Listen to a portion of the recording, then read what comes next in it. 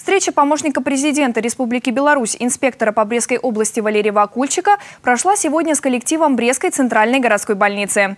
Тема дискуссии – информационная гигиена. Как не стать жертвой дезинформации. Как современному человеку ориентироваться в информационном пространстве, уметь отличать правду от фейков и для чего нужно проверять любую информацию – эти вопросы стали темой для обсуждения и дискуссии с коллективом больницы. Я бы сказал, что в данном случае – важна не столько тема, сколько коллектив, э, с которым мы эту тему обсуждали. Самое главное – получить способность делить обман, ложь, попытку целенаправленного воздействия и управления человеком извне от информации, которая соответствует действительности. Валерий Вакульчик подчеркнул, важно доверять проверенным и официальным источникам информации, соблюдая элементарные правила безопасности при использовании информационных технологий, а также обсудил вопросы, которые интересовали трудовой коллектив учреждения здравоохранения.